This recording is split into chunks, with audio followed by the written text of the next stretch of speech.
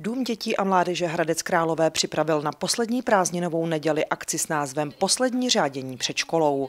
Smyslem akce pro veřejnost a především pro děti byla reálná ukázka všech kroužků, kam se mohou děti po prázdninách v tomto zařízení přihlásit. Máme to v podobě malinko i náboru na kroužky a zároveň jako poslední odpoledne, kdy si můžou děti zasoutěžit, zařádit.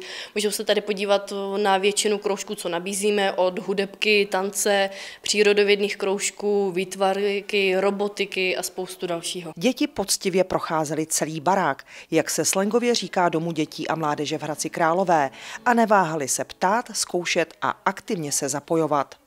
Velkou pozornost mezi dětmi tradičně vzbudila místnost plná zvířátek, určená pro chovatelský kroužek. Ze zvířátek tady máme zástupce z ptačí hříše, máme tady plazy, máme tady krásné chlupaté zvířátka, hlodavce, rybičky akvarijní a z těch kroužků tady probíhá čtyřlístek, což je pro předškolní děti a pak je dále tady chovatel, to je první až devátá třída, také kroužek se zvířátky a pak je tady mladý přírodovědec, který jsem občasně chodí, jinak eh, děláme spíš terénní výzkumy a jiná témata než jenom zvířátka. A děti zvířata chytla za srdce. Nejvíc se mi tady líbil to, tu činčilu, co se mi tady nejvíc líbila. Nejen chovatelský kroužek, ale také třeba výtvarná tvorba a keramika, robotika, programování a elektrotechnika, sportovní kroužky a mnohé další se dětem prezentovaly.